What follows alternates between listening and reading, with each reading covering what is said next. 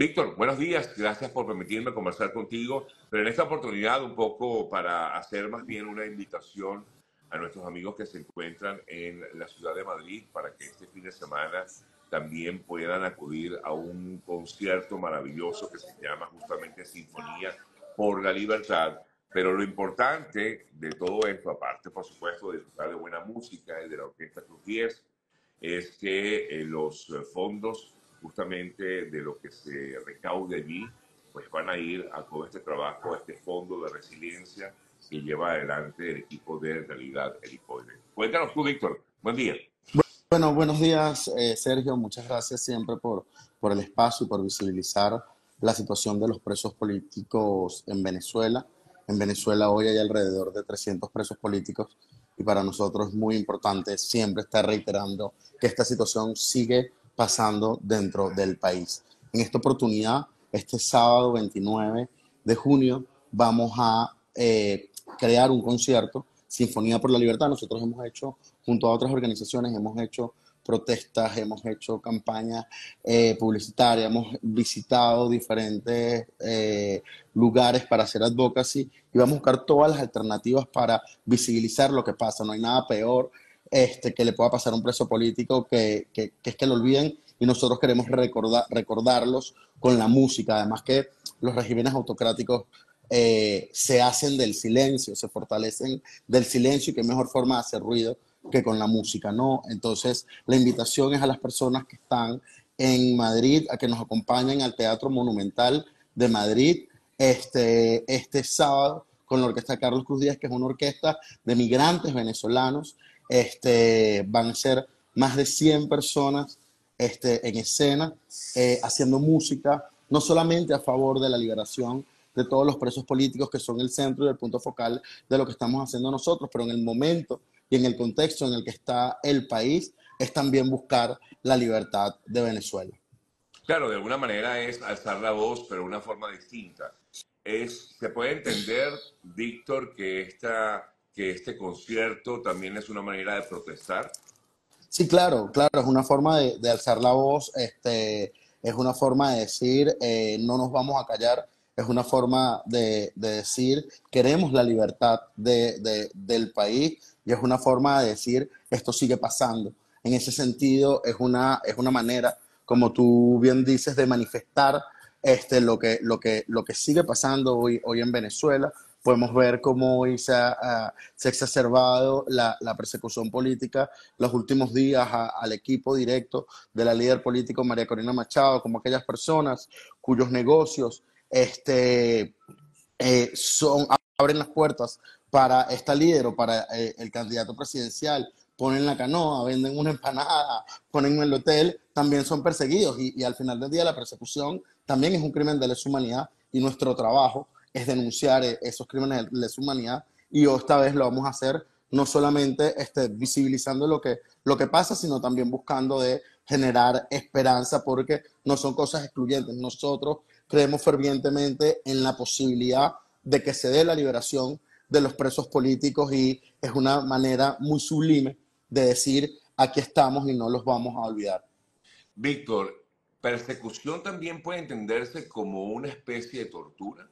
Mira, yo creo que, que al final del día la tortura psicológica este, es parte de los mecanismos que, que, existen. Al final del día no necesitas que eh, te detengan para que te torturen. De hecho, la detención arbitraria es un crimen y la tortura es otro y hay una persecución, este, hay formas de torturar de manera psicológica eh, muy directa. No necesariamente las dos este, eh, conviven en sí mismas, pero muchas veces la persecución viene con una serie de amenazas que hace que se convierta en un proceso tortuoso para, que, para aquellos que están siendo este, directamente afectados. En este caso, por quienes tienen el poder hoy en Venezuela, ¿no? Entonces, este, en la persecución puede haber eh, tortura también eh, y la ha habido y la sigue habiendo en el caso venezolano directamente por este, Nicolás Maduro y digamos quienes están en el poder en Venezuela.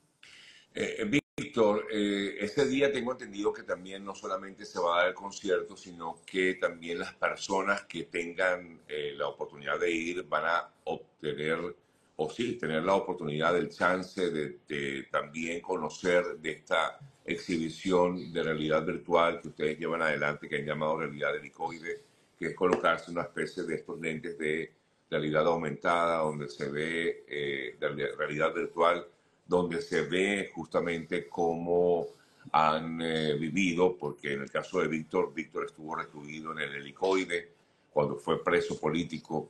Eh, eh, ¿Van a poder las personas tener esa experiencia? Sí, el concierto empieza a las siete y media de la noche. Invitamos a las personas a que lleguen lo más antes posible porque es la hora en la que empieza el concierto a las siete y media de la noche. Ya el concierto arranca, entonces todos los que lleguen adelante mientras están en el proceso de entrada van a tener la posibilidad de ver esta experiencia en realidad virtual que dimensiona la situación en la que viven los presos políticos en Venezuela. Es una experiencia multisensorial donde este, no solamente van a escuchar el concierto, van a ver algunos eh, testimonios de esta experiencia en realidad virtual. Hay mucha gente detrás de esto, mucha gente, muchas organizaciones de defensores de derechos humanos. Si bien es cierto, nosotros estamos liderando el proceso, hay muchas personas de otras organizaciones que están siendo parte de la co-creación de, este espacio y por eso para nosotros es tan eh, importante eh, que, que, las personas no solamente vayan al concierto, sino que vean esta exhibición y a su vez levanten la voz porque están hoy detenidos en Venezuela.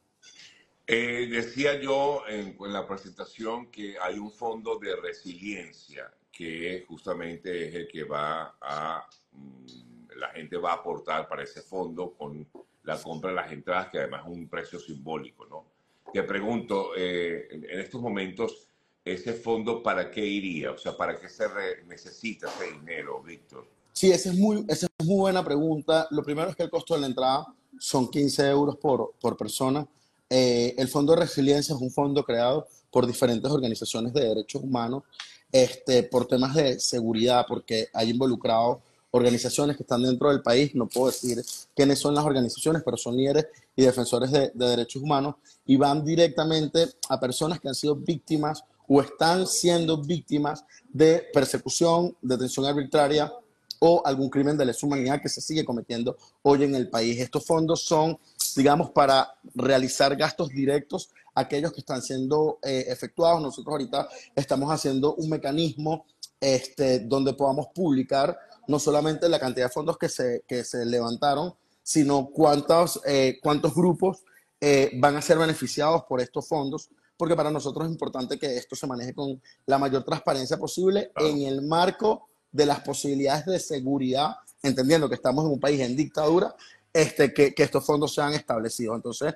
este, eh, vamos en la medida de nuestras posibilidades ser lo más transparentes posible porque sabemos que el tema de fondos puede ser un tema muy delicado este, y además puede ser un tema peligroso este, y una amenaza para, para personas por el simplemente hecho de, de, querer ayudar. Entonces, este, estamos creando un mecanismo que nos garantice eh, un, una base segura, por decirlo de alguna manera, este, y así nosotros poder ser lo más transparente posible, pero son directamente a víctimas, este, a sobrevivientes o a familiares que hoy están siendo eh, hoy están siendo afectados. Las contribuciones no van para el trabajo directo de, de, las organizaciones, sino que van a personas afectadas este, muy directamente, que bueno, justamente también por ser tantas personas afectadas, estamos creando un mecanismo de eh, participación o petición por parte de estas personas para así con un comité evaluador poder dar las ayudas, porque bueno, sabemos que muchas veces los recursos son escasos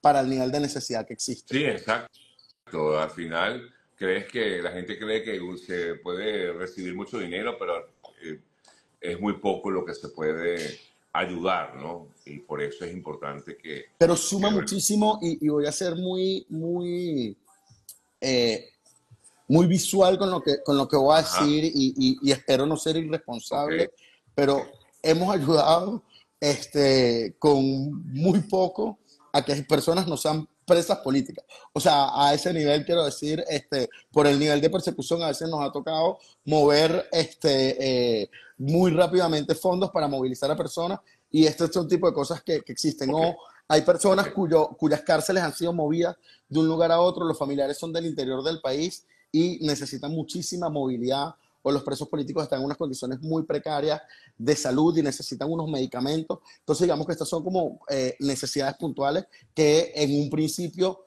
eh, cubriría ese, ese fondo. Comprendo, comprendo perfectamente. Bueno, Víctor, te les agradezco muchísimo a nuestro buen amigo Víctor Navarro, quien eh, lleva adelante este maravilloso programa de realidad helicoide. Los voy a invitar nuevamente. Esto va a realizarse el próximo sábado 29 a las 7 de la noche, 7 y tanto, me dijo él, pero lleguen antes para que puedan ver eh, la experiencia de realidad helicoide. Quienes puedan asistir, de verdad que sería maravilloso que lo hagan y vivan esa experiencia. Es bastante impactante y lo que van a sentir realmente les va, les va a Sí, es un poquito fuerte, pero al final también creo que es importante que todos conozcamos lo que han vivido, lo, lo que viven incluso muchos presos políticos actualmente en Venezuela. Es en el Teatro Monumental de Madrid y a las 7, eh, bueno, a las 6. Vamos a Exactamente. A para que Exactamente. Exactamente. Bueno, eh, Sergio, muchas gracias, nos vemos y bueno, todo sea hasta que liberen a cada uno de los presos políticos y cierren todos los centros de tortura. Así es. Fuerte abrazo, hermano, y gracias por esa lucha que sigues dando desde cualquier lugar que te encuentres. Un fuerte gracias a ti, gracias, a ti. Te mando un abrazo. Igual, hermano. Hasta luego.